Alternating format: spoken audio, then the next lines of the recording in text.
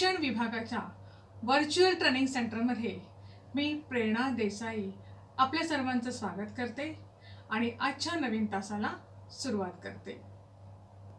इयत्ता आठवी विषय नागरिकशास्त्र आणि पाठ आहे नोकरशाही. मुलांनो तुम्ही नेहमी टी व्ही बघता त्या ठिकाणी बातम्या ऐकता ना पाहता किंवा तुमच्या घरी जर पेपर येत असेल तर पेपरमध्ये बातम्या वाचता. त्यापैकी काही वेळेला बातम्या अशा असतात बघा की जिल्हाधिकाऱ्यांनी जमावबंदीचा आदेश दिला आहे.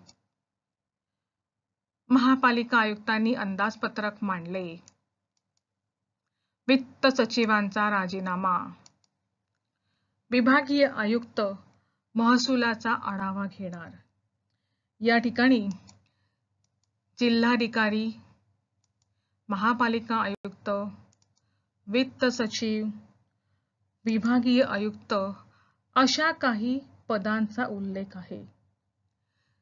शासनाच्या प्रशासन यंत्रेवरील यंत्रणेवरील हे सगळे सनदी अधिकारी आहेत. म्हणजे ह्या ज्या व्यक्ती आहेत या पद जी आहेत जिल्हाधिकारी महानगरपालिका आयुक्त वित्त सचिव विभागीय आयुक्त या सगळ्या पदावरील व्यक्ती या शासनाच्या प्रशासन यंत्रणेतील सनदी अधिकारी असतात. मग या सनदी अधिकाऱ्यांची कार्य काय? किंवा त्यांच्या त्यांची प्रशासनातील भूमिका काय? हे आज आपण या पाठात जाणून घेणार आहोत. नोकरशाही. कार्यकारी मंडळाची भूमिका स्पष्ट करणाऱ्या प्रकरणात आपण पाहिले की कशा प्रकारे आपला भारत देशाचा कारभार चालतो. प्रधानमंत्री व त्यांचे मंत्रिमंडळ नव्या कायद्याचे प्रस्ताव तयार करते तसेच धोरणही ठरवते. ही धोरण फक्त कागदावरती ठरवून यशस्वी होणार आहेत का? नाही. मग या धोरणांची प्रत्यक्ष अंमलबजावणी होणंही खूप गरजेचं आहे. मग शासनाची धोरणे प्रत्यक्ष कार्यवाहीत आणणारी कार्यकारी मंडळाच्या नियंत्रणाखाली असणारी एक प्रशासकीय यंत्रणा म्हणजेच नोकरशाही. होय ही नोकरशाही प्रशासकीय दृष्टीने किती महत्वाची आहे ते आता आपण समजून घेऊया. कोणत्याही देशाचा जर विचार केला तर त्या देशातील शासन संस्थेला मूलभूत अशी दोन प्रकारची कार्ये पार पाडावी लागतात. एक म्हणजे देशाचे परकीय आक्रमणापासून व अंतर्गत सुरक्षा विषयक धोक्यापासून संरक्षण करून नागरिकांना सुरक्षित ठेवणे आणि दुसरं म्हणजे नागरिकांना विविध प्रकारच्या सेवा पुरवून त्यांचे दैनंदिन जीवन अधिक सुरळीत करणे की ज्या ज्या योगे त्यांना आपला व समाजाचा विकास साध्य करता येईल. आता त्यातलं पहिलं जे आहे की देशाचे परकीय आक्रमणापासून व अंतर्गत सुरक्षक विषयक धोक्यापासून संरक्षण करून नागरिकांना सुरक्षित ठेवणे. दुसरं आहे नागरिकांना विविध प्रकारच्या सेवा पुरवून त्यांचं दैनंदिन जीवन अधिक सुरळीत करणे की ज्या योगे त्यांना आपला व समाजाचा विकास साध्य करता येईल. पहिल्या प्रकारातील कामासाठी देशाची संरक्षण यंत्रणा सज्ज असते.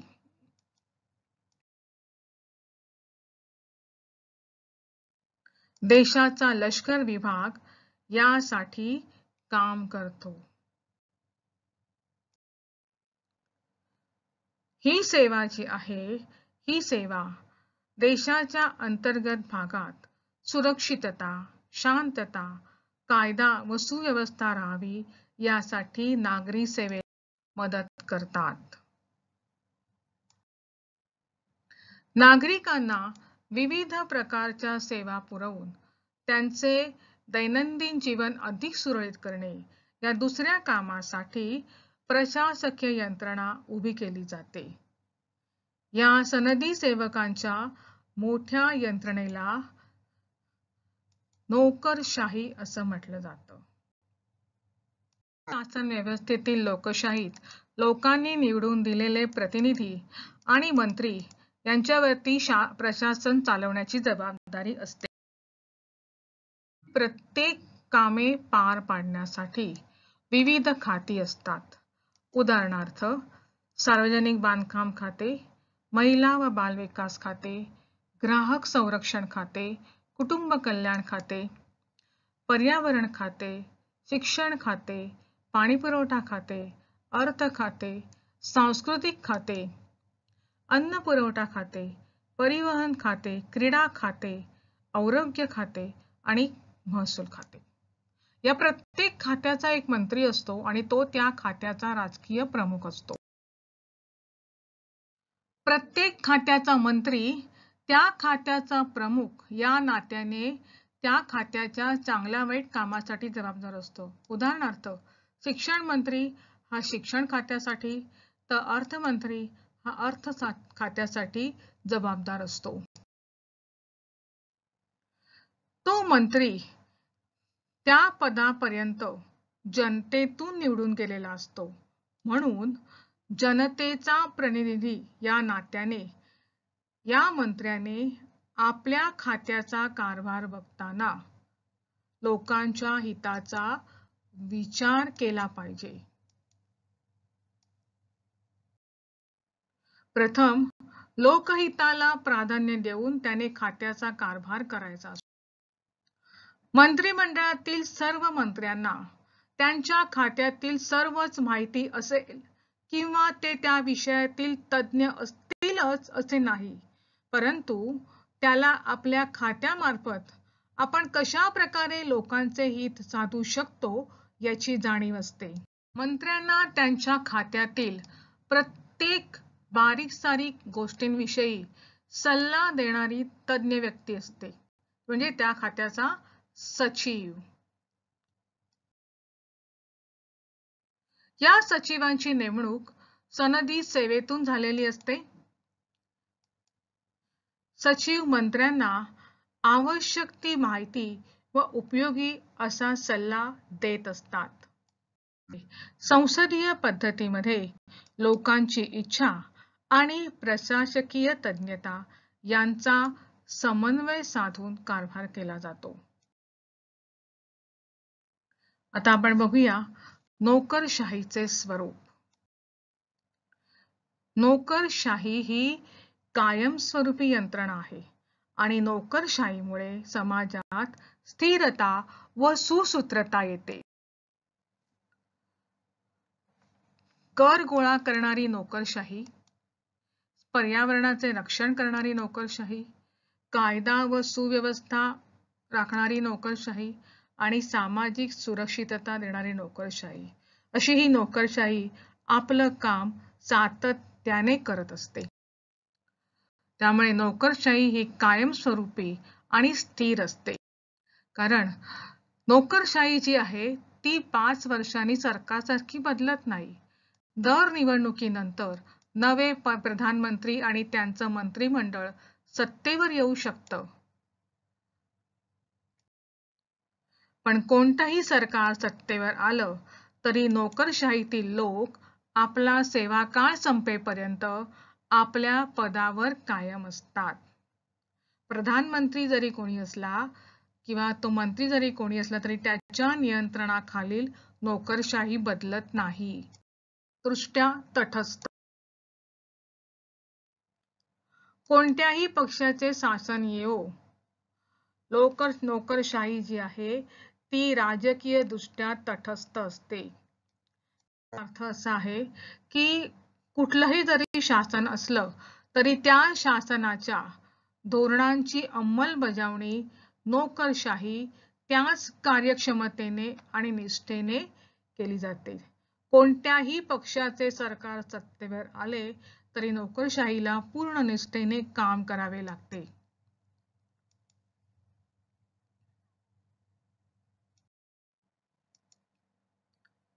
सनदी सेवकांनी राजकीय भूमिका घ्यायच्या नाहीत. अथवा आपल्या राजकीय मतानुसार काम करायचे नाही. एखादा पक्ष निवडणुकीतून हरल्यामुळे सत्तेवरून दूर होतं व दुसऱ्या पक्षाचे सरकार अधिकारावर येते. पहिल्या सरकारची काही धोरणे हे नंतरचे सरकार बदलू शकते अशा परिस्थितीत नोकरशाहीने तटस्थ राहून आपली जबाबदारी पार पाडली पाहिजे.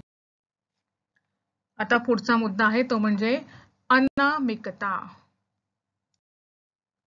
अनामिकता म्हणजे एखाद्या धोरणा धोरण जे असतं त्याचं यश अथवा अपयशाला नोकरशाहीला थेटपणे जबाबदार न ठरवता त्याचे स्वरूप अनामिक ठेवणे होय. आपल्या खात्याचा कारभार हा व्यवस्थित व पूर्ण कार्यक्षमतेने चालवणे ही त्या खात्याच्या मंत्र्याची जबाबदारी असते. त्यात चांगले काम झाले तरी ते श्रेय मंत्र्याचे असते. तर एखाद्या खात्याच्या अकार्यक्षम कारभारालाही मंत्र्यांना जबाबदार धरले जाते. सनदी सेवकांवर जाहीर टीका केली जात नाही. संसदही खात्याच्या गैरव्यवहारासाठी किंवा धोरणाच्या अपयशांसाठी मंत्र्यांना जबाबदार धरते. कारण धोरण ठरवण्याचं काम जे आहे ते मंत्री करतात आणि ते प्रत्यक्षात आणण्याचं काम हे सनदी अधिकारी करत असतात. आणि या सगळ्या संदर्भातील अंतिम जबाबदारी ही मंत्र्यांवर असते आणि ती सर्व जबाबदारी मंत्री स्वतः आपल्यावर घेतात. ते जनतेची माफी मागतात किंवा पदाचा राजीनामा देतात व नोकरशाहीला संरक्षण देतात. भारतातील नोकरशाहीचे स्वरूप हे असे आहे. आता आपण बघूया भारतातील नोकरशाहीचे महत्त्व लोकशाही शासन व्यवस्थेमध्ये लोकांचे हित लोकांचा विकास सामाजिक सुरक्षितता सामाजिक स्वास्थ्य यांना महत्त्व दिले जाते. त्यानुसार शासन निर्णय घेऊन योग्य ती धोरणं ठरवित असतं. ती धोरणं जी आहे ती प्रभावीपणे राबवून ती यशस्वी करण्याची जबाबदारी ही नोकरशाहीची असते. त्यामुळे जेवढी सक्षम नोकरशाही तेवढे यशस्वी सरकार होत असते. एवढं महत्त्व नोकरशाहीचं आहे. भारतातील नोकरशाहीची रचना ही अतिशय व्यापक आणि गुंतागुंतीची आहे. स्वातंत्र्यापूर्वीचा भारत आणि आजचा भारत यात आपल्याला खूप मोठा बदल झालेला दिसतो. भारताला स्वातंत्र्य मिळाले त्या काळापासून जे अनेक महत्त्वाचे बदल करण्यासाठी सरकारने वेळोवेळी नवीन धोरणे ठरवली त्या धोरणांची अंमलबजावणी नोकरशाही यंत्रणेने प्रभावीपणे केली आहे. आज आपल्याला जे अनेक चांगले सामाजिक बदल दिसतात त्या एक कारण म्हणजे भारतातली नोकरशाही. भारतीय नोकरशाहीने शासनाच्या धोरणांच्या अंमलबजावणीतून ते बदल सामान्य नागरिकांपर्यंत आणले आहेत. नोकरशाहीमुळे राज्य व्यवस्थेला स्थिरता लागते. अनेक प्रकारच्या सेवा आपल्याला सातत्याने कोणत्याही प्रकारचा खंड न पडता मिळत असतात. नोकरशाहीमुळे समूहाच्या दैनंदिन जीवनाला स्थैर्य लाभते दुसरे असे की नोकरशाहीमुळे समाजात परिवर्तन घडून येत असते. म्हणजेच नोकरशाही ही सुद्धा समाज परिवर्तनाचं एक साधन स्त्रियांचं सक्षमीकरण उदाहरण द्यायचं झालं तर स्त्रियांचं सक्षमीकरण स्त्री शिक्षणाच्या सुविधा स्त्रियांना स्थानिक स्वराज्य संस्थात आरक्षण स्त्रियांना वारसा हक्क इत्यादी. दुसरं म्हणजे बालकांचे संरक्षण. मुलांना मोफत लसीकरण कुपोषित बालकांसाठी विशेष प्रयत्न मध्यान्ह भोजन किंवा चौदा वर्षापर्यंत मोफत शिक्षण.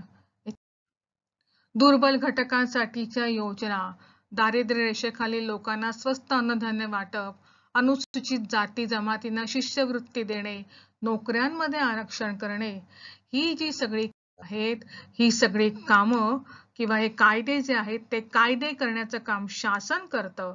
परंतु या कायद्यांना प्रत्यक्षात आणण्याचं काम हे नोकरशाही करत असते. आणि या धोरणांच्या अंमलबजावणीतूनच सामाजिक बदल घडून येत असतात. म्हणजे ही कायदे आणि धोरणं जेव्हा प्रत्यक्षात राबवली जातात त्यावेळेला सामाजिक बदल घडतात आणि म्हणून नोकरशाही हे समाज परिवर्तनाचे एक साधन आहे. नोकरशाहीची समाजाच्या लोकशाहीकरणाच्या प्रक्रियेत सुद्धा महत्वाची भूमिका असते. उदाहरणार्थ राखीव जागांचे धोरण शासनाने ठरवले आणि ते लोकशाहीने प्रभावीपणे राबवले. त्यामुळे अनेक दुर्लक्षित समाज घटक जे होते ते समाजाच्या मुख्य प्रवाहातून बाहेर फेकले होते ते आता मुख्य प्रवाहात आले आहेत.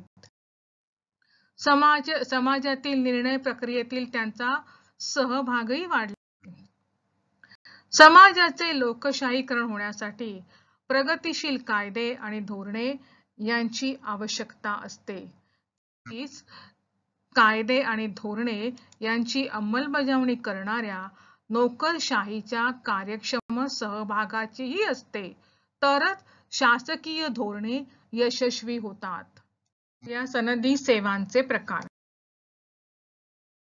आपल्या भारतामध्ये सनदी सेवा ज्या आहेत त्या तीन प्रकाराच्या आहेत. एक म्हणजे अखिल भारतीय सेवा केंद्रीय सेवा आणि राज्य सेवा. या तीन परीक्षांमधून आपले प्रशासकीय अधिकारी निवडले जातात. तर अखिल भारतीय सेवेमध्ये कोणत्यांचा समावेश होतो बघा? एक भारतीय प्रशासकीय सेवा इंडियन ऍडमिनिस्ट्रेशन सर्व्हिस. दुसरं आहे भारतीय पोलीस सेवा. तिसरं आहे भारतीय वनसेवा इंडियन फॉरेस्ट सर्व्हिस. केंद्रीय सेवांमध्ये कोणत्या प्रकारच्या सेवांचा समावेश होतो बघूया. भारतीय विदेश सेवा इंडियन फॉरेन सर्व्हिस. भारतीय महसूल सेवा इंडियन रेव्हेन्यू सर्व्हिस. आता ह्या ज्या दोन सेवा आहेत ह्या केंद्र शासनाच्या अखत्यारीतील असतात. आता राज्याच्या शासनाच्या अखत्यारीतील कोणत्या असतात? तर उपजिल्हाधिकारी गटविकास अधिकारी तहसीलदार हे जे प्रशासकीय अधिकारी स्पर्धा परीक्षामधून निवडले जातात ते राज्य सेवाच्या राज्य शासनाच्या अखत्यारीत येतात. सनदी अधिकाऱ्यांची पदे ही जबाबदारीची असतात. त्यामुळे सनदी अधिकाऱ्यांची निवड करताना प्रथम परीक्षा घेतली. गुणवत्ता व कार्यक्षमता या निकषांच्या आधारे सनदी सेवकांची निवड व्हावी म्हणून भारतीय संविधानाने लोकसेवा आयोगासारख्या स्वतंत्र यंत्रणा निर्माण केल्या. अखिल भारतीय सेवा व केंद्रीय सेवांसाठी स्पर्धा परीक्षा होऊन उमेदवार निवडले जातात. अशा परिषदेद्वारे निवडलेल्या उमेदवारांच्या नेमणुका केंद्र करते.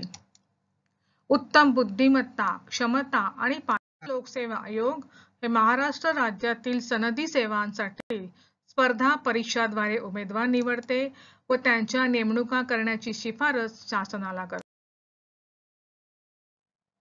नोकरशाही व सनदी सेवांमधूनही समाजातील सर्व घटकांना संधी मिळावी म्हणून संविधानाने अनुसूचित जाती जमाती महिला इतर मागासवर्गीय व दिव्यांगांना आरक्षण दिले आहे. समाजात असलेल्या गरीब श्रीमंत विषमतेमुळे जे घटक आर्थिक व सामाजिक दृष्ट्या दुर्बल आहेत ते सनदी सेवेतील संधीपासून वंचित राहू नये म्हणून ही तरतूद करण्यात आली आहे. मंत्री व सनदी सेवक. मंत्री व सनदी सेवक यांचा एकमेकांशी सतत संबंध येत. हे लोकप्रतिनिधी असतात तर सनदी अधिकारी हे प्रशासकीय अधिकारी असतात. या दोघांच्या समन्वयातूनच देशाचा व राज्याचा कारभार व्यवस्थित चालत असतो. मंत्री व खात्याचे सनदी सेवक किंवा सचिव उपसचिव पदावरील व्यक्ती यांच्यातील संबंध कशा प्रकारचे असतात यावरही त्या त्या खात्याची कार्यक्षमता अवलंबून प्रत्येक खात्यासंबंधी कामांचे निर्णय त्या खात्याचा प्रमुख या नात्याने मंत्री घेतात. त्यांना निर्णय घेण्यासाठी आवश्यक ती सर्व माहिती सनदी सेवक देतात. सनदी सेवकांचे अर्थात नोकरशाहीचे या माहितीवर पूर्ण नियंत्रण असते. कारण त्यांनी अनेक वर्षे या प्रकारची कामे केली असल्यामुळे त्या धोरणांच्या यशा अपयशाचा इतिहास त्यांना चांगल्या प्रकारे माहिती असतो. तसेच एखादी योजना रव्याने राबवताना त्या योजनेसाठी किती पैसा उपलब्ध आहे हे सनदी नोकरच सांगू शकतो